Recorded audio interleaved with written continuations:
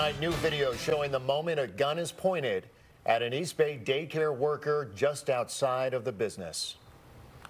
We have kids inside, so that's kind of a scary situation. Frightening moments for an Oakland daycare center. Good evening, everyone. I'm Mike Mibach. And I'm Claudine Wong. That incident happened last Thursday morning when there were children inside of that facility. Surveillance video showing two suspects, one armed with a gun, pulling up in front of that center and stealing a car right from the driveway. New at 10, KTVU's Zach Sos is live in Oakland after speaking with the owner of that daycare. And Zach, what is she telling you?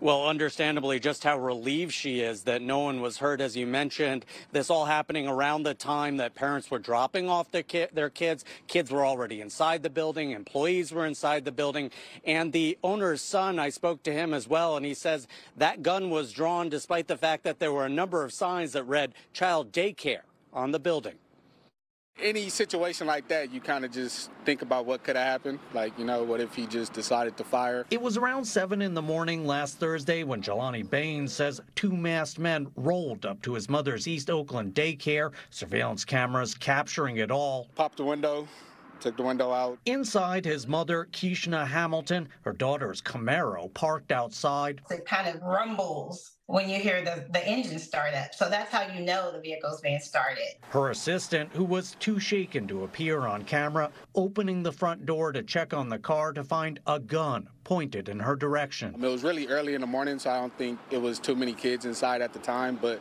you know, bullets have no names on them, so if he would have started shooting, it would it would be terrible. The assistant running back inside. We have signs in the front of our daycare that say 24 hour childcare, and we had parents scheduled to be coming at any moment. Thankful no one was hurt, but worried about the future. I fear for my, my life. I fear continuing to have my business in a space where I don't feel comfortable and safe. As for her daughter, she's ready to move out of Oakland. All the equipment she works with as a professional hairstylist was in the trunk. Oakland is missing out on a new business owner who won't be opening up her business in Oakland. She'll be taking it elsewhere. This as Oakland released new data Thursday reporting overall crime in the city down 33% compared to last year. I wouldn't say the crime rate is down. I think the way things are reported might be a little different. Jelani and his mother's view, many neighbors have just given up reporting everyday crime. It really hurts because we love Oakland. We love being here.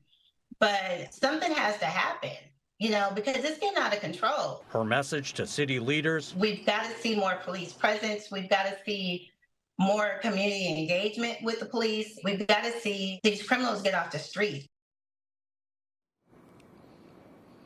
And it turns out this is not even the first time they have had a family car stolen. They say it has happened outside the daycare three times before. So, Claudine, frankly, they say they're not expecting to get their daughter's car back. Oh, that is such a shame, Zach. I know they, I mean, they obviously already have cameras up to try to protect themselves.